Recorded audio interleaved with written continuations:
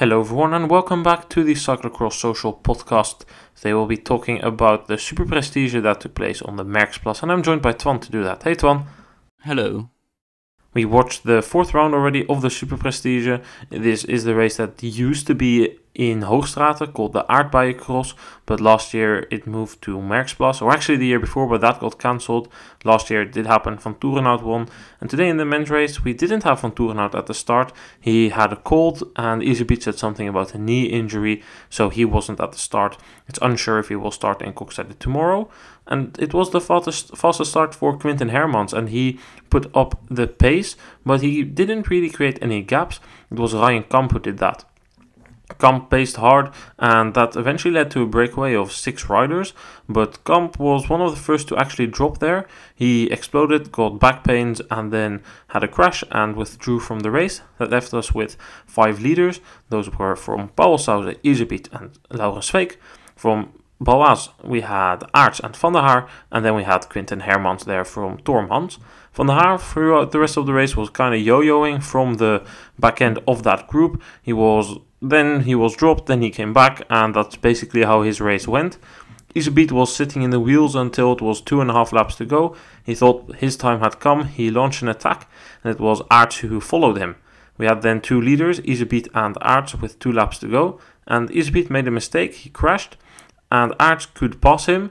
So it didn't look too severe for Iserbyt, but it did mean that Sweeck and the Hermans could come back. Then we came to a slight downhill with an off camber, and Aerts was leading, but Iserbyt launched it down the inside. Aerts was not amused by that move, and he kind of was caught off guard there, and he looked frustrated. And from there on, Iserbyt opened the gap and managed to extend that. Aerts did a lot of hard work, but didn't matter anymore for Aerts. Aerts blew himself up. It was Hermans who kept on chasing, but Iserbyt could keep his lead and claim another victory here. He took his 10th win of the season already, ahead of Quinten Hermans, who managed to outsprint Laurens Sweeck for the last places on the podium. Let's talk a bit about that race, Twan. We saw that Eli was sitting in the wheels for throughout the most of the race. What did you think of that? Was that a smart tactic? I think, especially with the eye on tomorrow, it's, it's just a very solid tactic. You don't need to go from lap 2 or 3 today. Uh, it is very tough to actually be able to do that. It is better to wait till like the final 15 minutes of the cross and try and uh, split up the field by then because people will be trying to push the pace and you just gotta make sure that you stay on, in contention until then. I definitely agree. It's something we've seen Iserbyt do more this season. Wait, wait, wait.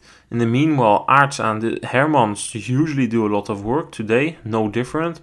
Aerts and Hermans were doing a lot of work, and especially on a parcours that was, in my opinion, somewhat boring. It didn't have really any standout features. Really hard to make a difference. We saw Iserbyt made a difference eventually by just pacing harder than the rest. So yeah, I don't really see why you would be doing all that work. I don't know what you think. Um, Aerts and Hermans, did they go too early in terms of putting the power down? They did. I mean, you have to put a bit of pressure on because there's always that opportunity that people make the mistake and a gap opens up that they're not really able to close. But you you could always push it a little bit more than the person ahead of you, like when you're trying to come back. So it was like relatively easy to get back for all five of them because like they're on very similar uh, abilities. And I mean yeah you're just hoping for someone else to make a mistake and then put the power down. It's it's not really the greatest tactic and I, I think Iserbyt played it very well but at the end of the day someone has to push it. Yeah someone has to do it and I mean, it's maybe not the smartest from Hermans and Aerts, but on the other hand, if they sit back and do nothing, they're caught in the team game of Pauwels Sauze because you know that if you do nothing, Iserbyt and Sweeck will go 1 2, and you know Sweeck will let the gap fall, or maybe Iserbyt would have done it. So I think it's a bit hard for both. I mean, Aerts did have Van der Haar, but Van der Haar wasn't great today. So if I think what could they have done differently, I mean, for Aerts, the only thing I can think is when Iserbyt made that move down the inside, he should have like kept on going and mm, or closed the door. That's basically the only thing I can think because until then, I don't think Aerts had done that much wrong. I mean, he had been leading, but usually when he was leading, he was dropping the pace so Van der Haar could come back. Yeah, Van der Haar not really providing the support that Aerts needed today, I think, and that he needed from himself as well. Just always in the final positions, basically from the first lap, um, from from like the first few corners, he was in trouble uh, and uh, was chasing the race the whole time, not really ever being in a position to put the hurt on someone else, but clearly still having the abilities to if, if he had been in a position, he would have been very fine today, and I think he would have been like battling for the podium. I think for Van der Haar, he had two problems. The first one was running the barriers. It cost him around one to two seconds every lap. Well, 10 laps, so it's between 10 and 20 seconds, which is a lot. And secondly, there was this technical part where Iserbyt was riding it every lap. Iserbyt crashed there eventually in the penultimate lap. And Van der Haar, he was riding this. The rest was running. So why is this issue? Iserbyt could ride it at a fairly decent pace. It was about as quick as running for Iserbyt. Van der Haar, however, needed to slow down much more so he could take the line he wanted to take. This way, he lost, I think, one, two seconds every lap there as well. I think Van der Haar was strong, but like if you have these two places on the parcours where you lose time every lap, and then add a bad start to that, you're going to be chasing the entire race, and that's kind of what happened for Van der Haar. He could only come back when Aerts dropped the pace, and the laps that Aerts didn't drop the pace, we saw that Van der Haar was distanced. However, let's focus on that move that I just mentioned in the penultimate lap where Iserbyt retakes the lead from Aerts. What did you think about that one? I I think it's uh, very opportunistic. It's uh, it's one of those moves where like I don't know. I, I guess he, he felt the urgency to keep pre- pressing on, keep pressing on, uh, and like uh, I don't know. It's not a move that I would personally make. It, felt like a lot of risk, and if Aerts didn't really give him the space, it would have easily ended up in a crash, uh, which just wouldn't have been very beneficial to both of them. Yeah, I think the move itself, it's not wrong. There's no elbows, no heads, no contact even involved. But you're right, if Aerts doesn't see him coming or thinks, well, I'm having none of it today and doesn't break, in that case, you are looking at potentially a collision between those two because Iserbyt did take a lot of risk there. Was it necessary in the end? Perhaps it was. I, I don't know. It, uh, said he felt that Aerts was dropping the pace so he could recover. And we did see that as soon as Iserbyt went back into the lead, he did open a gap because Aerts wasn't able of properly responding. As soon as Hermans took over the chase of Aerts, the gap stayed the same or perhaps even went down by one second. So was it necessary? Perhaps. Was it risky? Yeah. But did the risk pay off in this time? Yeah, I think it did. So Iserbyt can be happy taking his 10th win of, win of the season. And yeah, I mean, Perhaps Sweeck is the only one who could have done something. I think Sweeck looks strong today. He looked very good, um, but I don't know. He, he also pressed on a lot in uh, like the start and middle uh, of the race, and yeah, just maybe a bit under team orders to help Elise beat. Um, yeah, and it's unfortunate. Finally, in the leading group, we of course had Hermans. I think as well Hermans. I mean, I just said maybe only uh, Sweeck could have done something, but I actually also think that Hermans could have done something if I think about it because Hermans once again was looking strong, but once again he made a lot of mistakes. In my opinion, Hermans is too eager this season.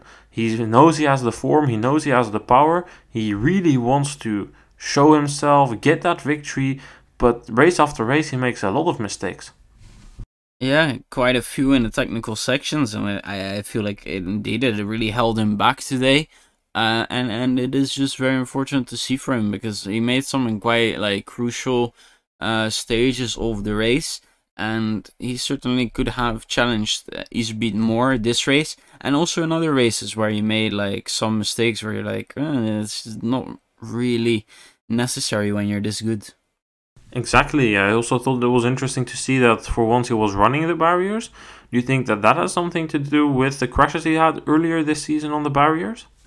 I do imagine uh, Van der Haar commented on them being a bit shorter together, so I think uh, Hermans could maybe have just decided that it's not worth uh, risking losing like 10 seconds with one crash, but rather take it steady every single lap and lose like one, one and a half, two seconds, you know?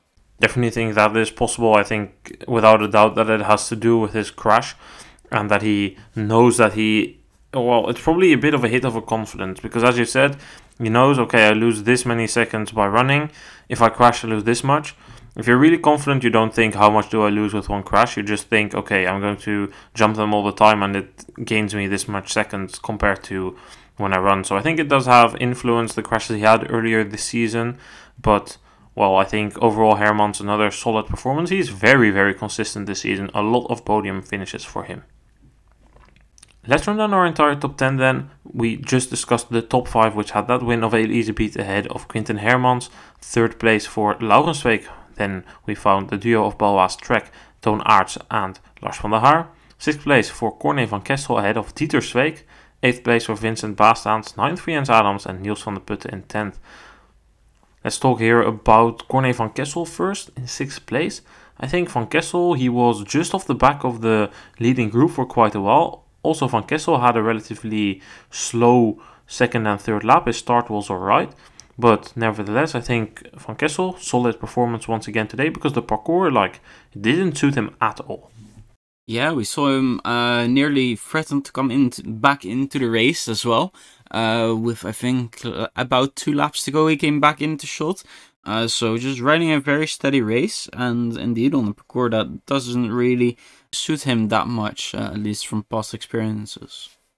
Yeah, I think definitely good to see Van Kessel improving. We talked about him earlier this season that in the States it wasn't what we had expected from him, but now he's looking to be back towards that consistent middle top 10 rider. And I think when the mud comes, well, which is probably next week in, I think where we're going to Besançon, that should be a bit muddy. We also should see some different riders skipping there, Hermans and Van der Haar not going there. So perhaps uh, Van Kessel can have an outside shot at the top 10 there, because of at the podium, I must say, top 10 for sure.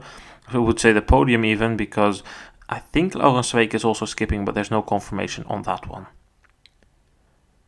Rather behind, Diether Sweeck has to be mentioned here, 7th place.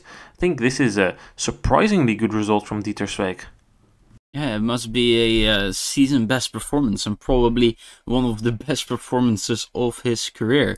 Uh, just a uh, a very very solid performance, as you said. Uh, really promising stuff uh, in that IKO-Crelan team, and I think they just uh, are looking what what to do with him, and this kind of performance might keep him on board. Yeah, the twin brother of Laurens Sweeck, um, he is, and well, I, I have to say I'm very surprised. I mean, sure, this season I've seen him be better than previous seasons. I've seen him consistently improve himself, but like if I look at his results, this does still kind of come out of nowhere. I mean, sure, he was eighth in Ruddervoorde, but Ruddervoorde had less people at the start than here today. If we look for comparison, 5th in Oisterwijk, 21st in Gieten, 9th in Ardooien. Like Oisterwijk and Ardooien are not big races. And today is a big race. The start list was pretty stacked and 2 and 7th. Surprised? Do you, do you think that he might be reunited with his brother in a team next year? Depends on where both of them go. Um, yeah, yeah, it will really depend on that, of course. We can take a moment to discuss that. We have heard, had the rumors earlier that Sweeck was on his way to Tormans. They tried to force a transfer before this cross season. That is off the table. Cross transfers happen after March because they are different teams than road teams. So that means that the transfer doesn't happen on the 1st of um, 1st of January. So there's still some time. Where do you think that Sweeck will go? Do you think he will be leaving Pauwels Sauzen? And if so, do you think he will want to take Diether Sweeck with him? I think it is. Uh, it, he is right to move away. Uh, it's not been the greatest combination at Pauwels Sauzen, and uh, having more of his own team maybe it would be good. Uh, he used to have that, of course, as well. And uh, I mean, if they have space and a budget for Diether as well, I'm sure it would be a welcome addition. He has been uh, showing that he is worthy of a uh, pro contract with performances like this. I wonder if maybe Hens Maes is interested in signing him because Vincent Baestaens, who's riding the season of his career, is not getting a contract extension. They the they founded the team around him, and this year they only re-signed his contract for six months or so for the cross season. but he's on his way out, and I personally don't really understand that decision. Baestaens looking for a contract. Diether Sweeck and I mean by the looks of it, Laurens Sweeck are also looking for a contract. Hens Maes have said that they wanted to sign a top rider. The priority of Hens Maes is in Belgium. Laurens Sweeck doesn't like these foreign travels. He preferably only rides races in the USA. In my opinion, it's a perfect match if they have the money. Yeah, it's uh, maybe not quite like the superstar they want, but it's just a very good rider that is going to get you top 5 results like at the start of the season and maybe later on as well, and the occasional podium here and there, and maybe something more as well. Uh, it it's it would be a very good statement signing, I think, for Hens Maes, and uh, yeah, they would do good uh, with that. And yeah, of course, the rumor rumor of Tormans is still on the table, and if he signs at Tormans, then I don't think Diether Sweeck will go. Whilst if we look at Hens Maes, I think Hens Maes will fit in Diether Sweeck into their roster. It's kind of the type of rider they have because if we look Hens Maes today, Baestaens 8th, and then if we look at their other riders, Looks and Meeuwse, 16th and 17th. So in a way, I wouldn't be surprised if uh, Hens does sign Sweeck, uh, both Sweecks, I must say. But I guess we'll just need to keep an eye on that and keep our ears open to uh, see what we hear to on. For sure. Let's talk about the rider just outside of the top 10 then, Loris Rouiller riding for Alpecin Fenix, ending 13th today. This is in my opinion also a solid performance by the fourth year under 23 from Switzerland. Yeah, this is more of the stuff that you would really like to see from him not quite making the development that uh, Alpecin were probably hoping for after the junior category, but uh, it's good to see him uh, closer to that top 10 again. I think this is definitely a performance he can move forward from. Of course, there were under 23 riders in front of him. We had um, Niels van der Putten and Emiel Verstrynge, but then again, I think Rouiller has made progression. Last year, he was really struggling. Of course, the COVID pandemic probably influenced him, and it's not strange, but this year he made solid progression. Also in the under 23 races, he's more towards the front. And what I really like today, he didn't blow up. We saw in the under 23 races, he often sets out fast and then falls back way outside of the top 10. Today, none of it. He was far back and basically the reverse. He overtook a lot of riders. For instance, Kamp, who had, uh, of course, a crash which caused him to DNF, but I like that.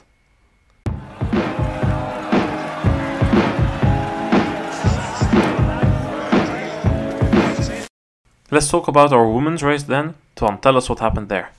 It was a very good start by Lucinda Brand, and uh, in the technical section, it would be Inge van der Heijden helping her out a little bit as she made a slight mistake and uh, she gave Lucinda Brand a bit of a gap, and then Alvarado uh, further holding the rest up as uh, she struggled even more to get through that after that little mistake by Van der Heijden. And uh, they wouldn't see Lucinda Brand again. She would go on to ride to uh, victory quite comfortably today. And uh, Annemarie Worst, Denise Betsema, and Yara Kastelijn would battle it out for the remaining podium spots. Alvarado couldn't quite hang on to them and uh, it would end up being Annemarie taking the second place with a very strong sand section, just able to position herself well, and uh, it, it, it, was the second place for her. And Denise Betsema struggling a little bit more, which was quite surprising, uh, coming in third with Yara Kastelijn taking up fourth. That win there of Lucinda Brand, I mean, a one woman show. She said before the race that she didn't expect it to be easy to ride away. But in the first lap, by leading, I mean, she was able to ride this section. It was then Van der Heijden who needed to get off the bike. Worst was caught up behind Alvarado, who made a mistake there. And ever since there, I mean, there's nothing you can do. If Brand is gone on a parcours like this, it's very, very hard to come back. And I think it just shows Brand certainly the strongest woman at the moment yeah, really finding that form uh, after the European, during the European Championships and after as well, uh, going on a bit of a winning streak, and it's just looking very good. It's the Lucinda Brand that we saw last season, just strong all around, and um, yeah, really, this is the kind of thing Toon Aertsel and like Sweeck, etc., and Hermans they were hoping for when they were pushing from like a bigger mistake from some of the people behind, and then a gap open up and capitalize on it. And Lucinda Brand was able to do that. yeah, that's the only thing you can hope for. The parcours not very great in my opinion. It was, yeah, it was kind of boring. Also, not a lot of spectators, but that's of course due to new COVID restrictions. You need to wear mouth masks now at all indoor and outdoor events in Belgium. So I can understand that the spectator numbers are pretty low, but the parcours itself, it's also it doesn't have any standout features in my opinion. So yeah, it's kind of I, I didn't really enjoy watching it. It didn't help that Eurosport didn't have an English commentator, but well, we have to do with it. I did like what I saw in the background. Worst more improvements from her side. Her back finally looks to be solved, and I look. I am not per se a huge fan of Worst, but I just don't like seeing riders who I know have potential struggling, and to see Worst then do good again I do like that. I do think she's now where she deserves to be based on the effort she puts in. She's always on the podium at least the last couple of weeks, and that's what I like to see. Yeah, and it's uh, great for the cross as well. The more people that can get involved with the battle for the victory, the more entertainment there is, and uh, the more attempts that people will get into watching. Exactly, and that was really nice to see. And I saw the same for Yara Kastelijn, who was in the fight for the podium. Eventually, Kastelijn lost it on her technique today. There were quite some technical sections still, especially in the woods. Kastelijn always struggles there, also struggled in the sand today. So, in a way, I was surprised to see her be able to keep up with that group for second place for so long. Yeah, I think uh, has been um, a lot better in the last few weeks and this is just one of those days that again she was able to do it uh, and uh, she was able to stick with the favorites for as long as possible and uh, yeah just today it really gave me um, i think it was 2018-19 vibes of like the the same five women back at the front of the race uh, all five of them of course, a bit more spread out than uh, sometimes they were back then, but uh, it was really fun to see again. Yeah, I definitely agree. It was good to see. Already mentioned Worst, good to see her back at the front, and for Kastelijn as well because yeah, we had a good season start for her. Then she had a part where she had a lot of bad luck in the States and was collecting back end of the top 10 places. And we were like, hmm, yeah, maybe it was just the start of the season. But then she bounces back now, fourth on this parcours. As I said, very good, just behind Denise Betsema, who, in my opinion, this just mistimed her peak. She, it's it's normal that you have phases with higher form and lower form in the season. Betsema definitely having one with a bit of lower form now, which isn't bad. Don't get me wrong, because there's a very very busy period coming up in December around Christmas probably taking a bit of rest now, so she can use that period to come into peak form for the Nationals and the Worlds. But Betsema, in my opinion, is lacking a bit compared to Overijse Koppenberg and mistimed her peak for the European Championships. Yeah, and I think it, this is also, uh, I think, more exposed by the fact that Lucinda Brand is looking so strong again. Yeah, there's truth in that because Brand, of course, had a cold and was suffering from that, and her performances as well ever since Iowa. But uh, look, I mean, Betsema, of course, now is also fighting with Vorsten Kastelijn, which he wasn't earlier this season, except with Kastelijn and Beringen. But in a way, I guess it's just I guess waiting and see. Betsema did lose the overall lead in the Super Prestige. She went from one point ahead of Brand to one point behind. But that definitely means that everything is still to play for. So it will be interesting to see what can happen there. But we should look at our entire top 10. Of course, a lot of Dutch flags. The first eight it was Brand, to Worst, Betsema, Kastelijn, Alvarado, Bakker, Van der Heijden, Van Alphen. Then we saw Anneke in 9th and Perrine Clauzel in 10th. I would like to mention the performance here of Alvarado. I think Alvarado didn't have a great day. And personally, I believe she was riding with Koksijde in the back of her head. Tomorrow, the World Cup should suit Alvarado. She likes a bit of sand. So I think at some point you saw Alvarado switching. Okay, I'm not getting a podium here. Let's focus on tomorrow. Yeah, the time gap really isn't representative. Uh, Alvarado was struggling a little bit to keep up with them, but also was able to stabilize the gap for a few laps before it completely fell off a cliff. Uh, yeah, pretty clearly with uh, Koksijde in her mind. And the rider behind Alvarado, Manon Bakker, sixth place, massive improvement for her. She's been struggling this season. We've been quite skeptical about the results. There was probably something, we don't know what, nothing has been communicated, but I mean, sixth place by Bakker today. This is kind of where you would expect her based off last season. I mean, sure, some riders aren't here, Pieterse, Vas, you can name a couple more, but sixth place, very solid. Yeah, it seems to be that she's slowly uh, riding her way back into form with uh, some good performances every now and then. Uh, but unfortunately, still like some of those like uh, 15th to 20th places in between.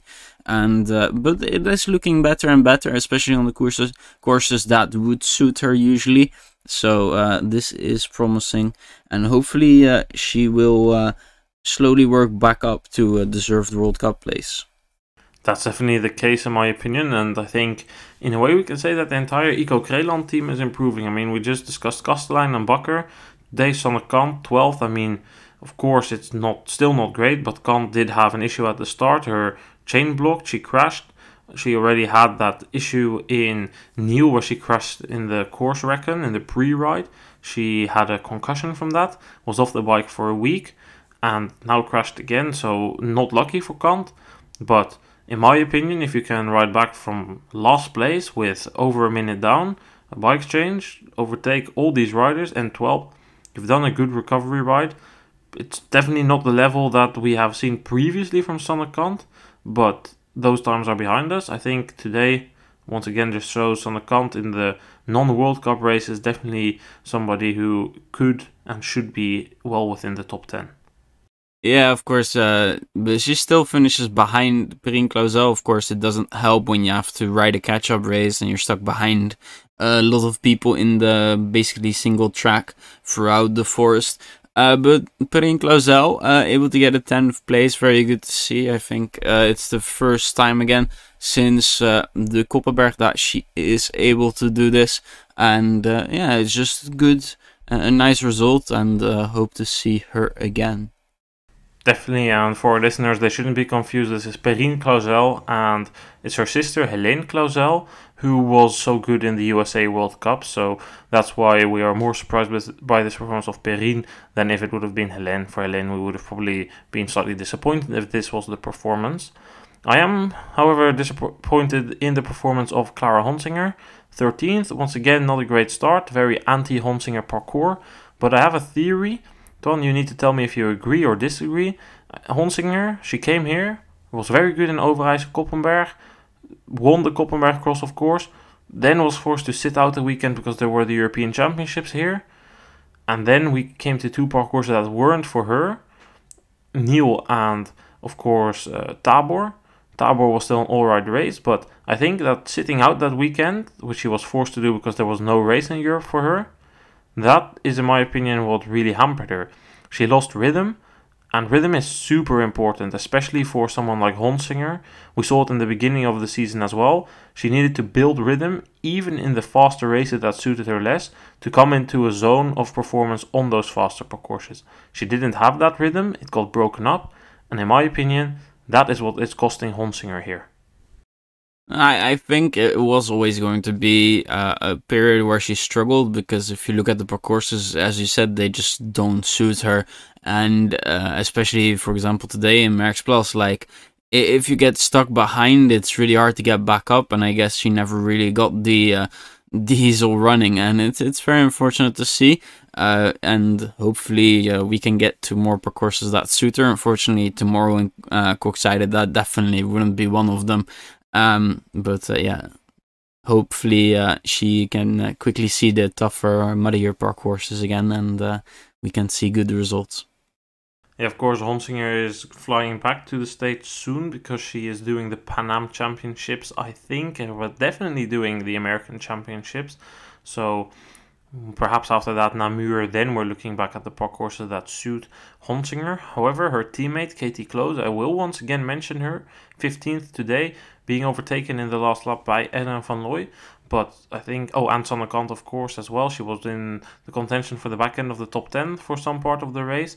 20 years old, again, under 23 rider. Very solid result by the young American, in my opinion. Yeah, it's good to see. It's nice to uh, get some of these results under your belt in Belgium because, of course, racing in the US it's a bit different than here. More competition here, of course. and um, yeah, she's just doing very well, I think. Yeah, I think so as well, and uh, I'm excited to see what she can do throughout the rest of the season. Of course, she's working towards the World Championships in her own country in Fayetteville, so yeah, interesting. We should keep an eye on her. I'm definitely seeing a young talent rise there. Anyway, tomorrow we are going to Koksijde Twan, a short prediction or a very short, brief preview for the men's race. Who do you think is the favorite there? I think we're going to see uh, quite a quite a few people in contention. Um, and Sweekoff's looking very good today, actually. So I think uh, with uh, his speciality, of course, being in the sand, that he can certainly make it very tough for the others uh, tomorrow. Sweeck, of course, the obvious favorite to look at. I do think that, as you said, there's more people to look at. Iserbyt didn't look great in the sand today. Aerts did, so interesting. I think we'll have an open race. Sweeck, definitely one of the favorites based on his record in the sand, but I guess it's just wait and see. And I think we could be in for a good race there in the women's race. I think we're looking at Brand and potentially the specialist Betsema. Although Betsema didn't look too great today, just not finding the right line. Uh, and Annemarie Worst look quite good to be honest. Um, so I mean, I, I still think it's going to be for Brand, but uh, they should get uh, should get in for a good fight. Well, we'll see you tomorrow. We'll be back with a new podcast tomorrow. Twan, thank you for joining. Thanks for having me on. And as said, tomorrow we'll be back with uh, the next round of the World Cup. Koksijde, they follow each other rapidly now, the World Cups. Definitely a classic. Good to see that back on the calendar after the cancellation last year. So we'll be back tomorrow, as said. Thanks everyone for listening, and we will see you guys then tomorrow. Goodbye.